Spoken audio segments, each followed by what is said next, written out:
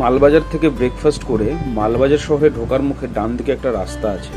চারিদিকে চা বাগানে ঘেরা এই রাস্তা ডামডিম থেকে লাভাগামী মেন রাস্তার সাথে যুক্ত হবে মেন গ্লাস টি এস্টেটের কাছে। সেখান থেকে গরুবাথান, লাভা আলগারা হয়ে আমরা কালিম্পং থেকে রংপোগামী রাস্তা ধরে রামধুরা বুরমুইক হয়ে পৌঁছে যাব মুনসাং। মুঙ্গেরজাং মুনসেংয়ের একটি ছোট্ট গ্রাম।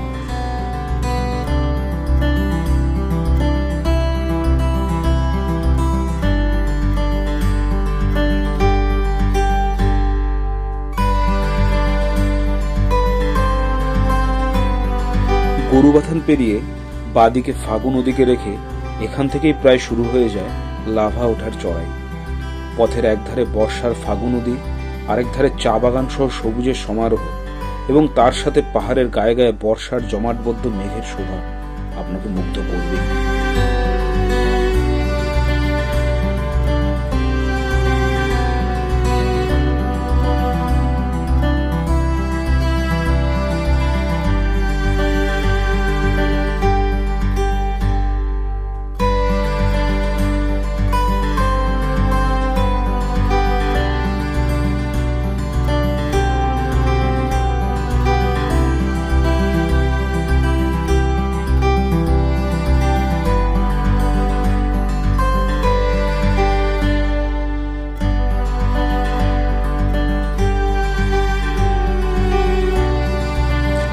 লাভা যাবার এই রাস্তাটি বেশ অনেকগুলি পাক খেয়ে উপরে উঠেছে। ওপর থেকে যদি এই রাস্তার ড্রোন ভিডিও করা যায়, তবে আমার মনে হয় এই রাস্তাটি অনেকটা সিকিমের থাম্বি ভ্যালি ভিউ পয়েন্ট থেকে জুলুক নামার যে বিখ্যাত ফিফটি নাইন হেয়ারপিন বেঞ্চ সহ রাস্তা আছে, তার মতো মনে হতে পারে। দু হাজার উনিশ সালে করোনা পূর্ববর্তী সময়ে আমরা এই বন্ধুরাই জুলুক বাইক ট্রিপ করে এসেছিলাম।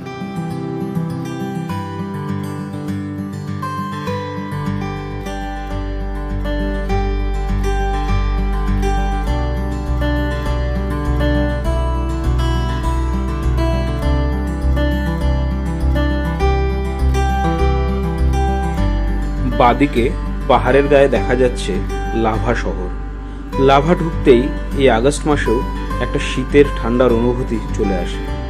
প্রসঙ্গত বলে রাখি, লাভার উচ্চতা দার্জিলিংয়ের থেকেও বেশি।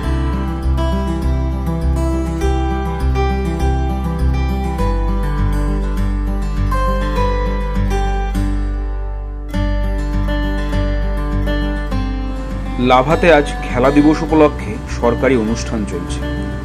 বাদিকে দেখা যাচ্ছে লাভার বিখ্যাত বুদ্ধিস্ট মনাস্ট্রি।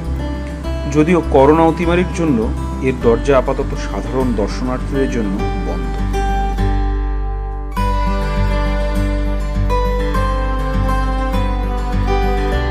লাভার কিছু দূরে এই জায়গাতে আমরা দাঁড়িয়েছিলাম কফি ব্রেক নেবার জন্য। এখান থেকে ওপরের দিকে এই পথটা চলে গেছে ঋষভের দিকে।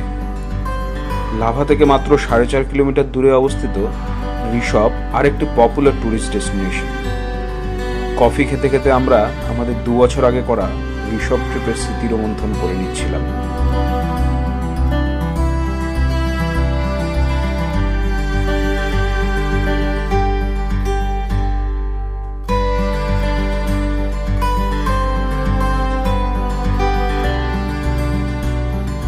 লাভা থেকে আলগারা যাবার বেশ কয়েক কিলোমিটার পথ আমরা পেয়েছিলাম ঘন কালো মেঘের আবরণে ঢাকা।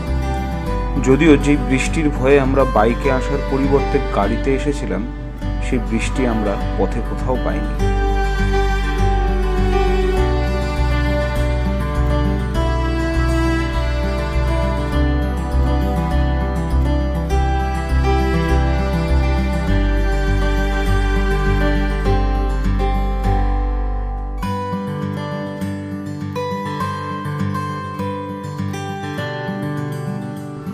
আলগারা পেরোতেই মেঘের আবরণ সরে গিয়ে দেখা দিল ফুটফুটে রোদ এবং নীলাকাশ সোজা এই পথটি চলে গেছে কালিম্পংয়ের দিকে।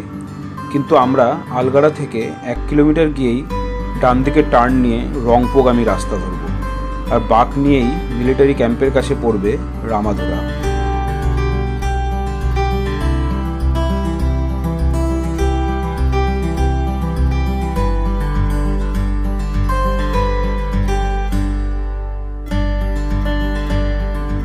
রামাধুরার এই ভিউ পয়েন্টে আবার আমরা কফি ব্রেক সেরে নিলাম। ভিউ পয়েন্টের খুব কাছেই আছে আমার থাকা অন্যতম সেরা একটা হোমস্টে ভুটিয়া হোমস্টে হোমস্টের ব্যালকনি থেকে এই যে ভিউ পাওয়া যায় তা এক কথায় অনবদ্য।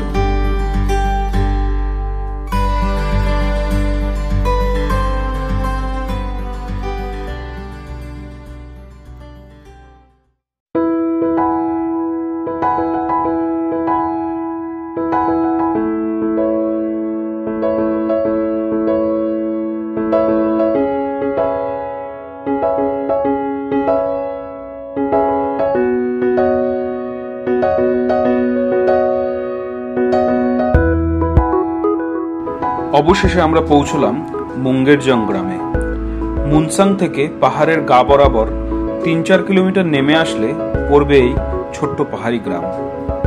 মুঙ্গের জায়গায় আমরা উঠেছিলাম বসন্তামাংজির তিস্তা রিভার ভিউ হোমস্টেতে।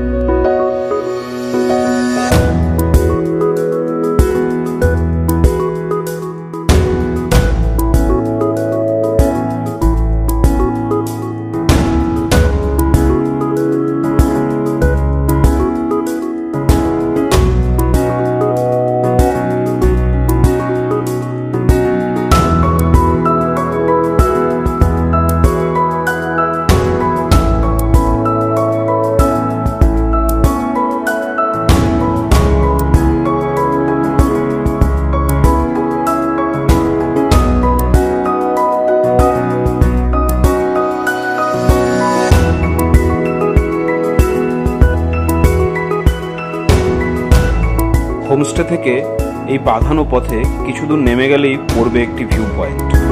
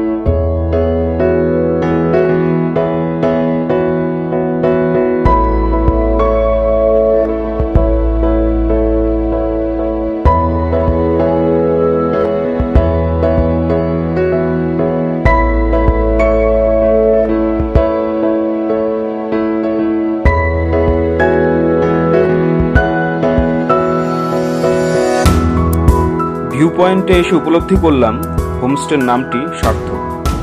পাহাড়ের মাঝখান দিয়ে আঁকাবাঁকা পথে তিস্তার এত বিস্তৃত ভিউ আর কোথা থেকে পাওয়া যায় কিনা সন্দেহ আছে। তিস্তা ডান দিকে সিকিমের রংপুর দিক থেকে একে বেঁকে বাদিকে সেবকের দিকে চলে গেছে।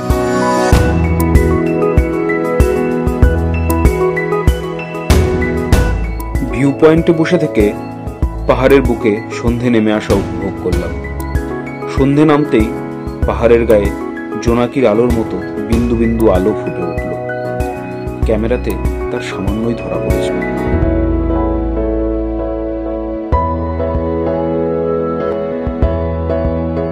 পরের দিন ভোরে ভিউ পয়েন্ট এসে দেখলাম, তিস্তাকে অদৃশ্য করে ভ্যালি দখল করে বসে আছে তুলোর মতো সাদা মেঘ। বেলা বাড়ার সঙ্গে সঙ্গেই সেই মেঘ সরে গিয়ে আবার তিস্তার দেখা মিলল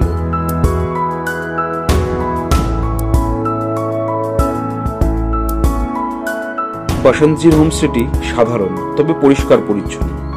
পাশাপাশি দুটো করে রুম মিলিয়ে মোট চারটি রুম রয়েছে। খাবারের মানও যথাযথ। অসুবিধার মধ্যে একটি হলো, পানীয় জলের জন্য বারবার ওনারা যেখানে থাকেন, সেখানে যেতে হচ্ছে। আশা করি উনি শীঘ্রই এর সমাধান করবেন। মুঙ্গেরজাং থেকে কাছে পিঠে ঘুরতে যাবার মধ্যে কিছু জায়গা হলো, লাভা, ডেলো, কালিম্পং ইত্যাদি। মুঙ্গেরজাং আসা বা যাওয়ার পথে জলসা বাংলোটাও ঘুরে নেওয়া যায় তবে বন্ধ থাকায় আমরা যেতে পারি।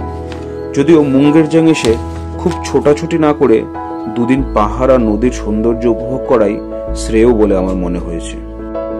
বাগডোগরা বা এনজিপি থেকে এলে কালিম্পং বা রংপুর দুদিক থেকেই মুঙ্গের মুঙ্গেরজাং আসা যায়। মুঙ্গের মুঙ্গেরজাং আসার ব্যাপারে কোনো জিজ্ঞাসা থাকলে কমেন্ট বক্সে যোগাযোগ করতে পারেন। আর ভিডিওটি ভালো লাগলে অবশ্যই লাইক ও কমেন্ট করে উৎসাহিত করবেন। ধন্যবাদ।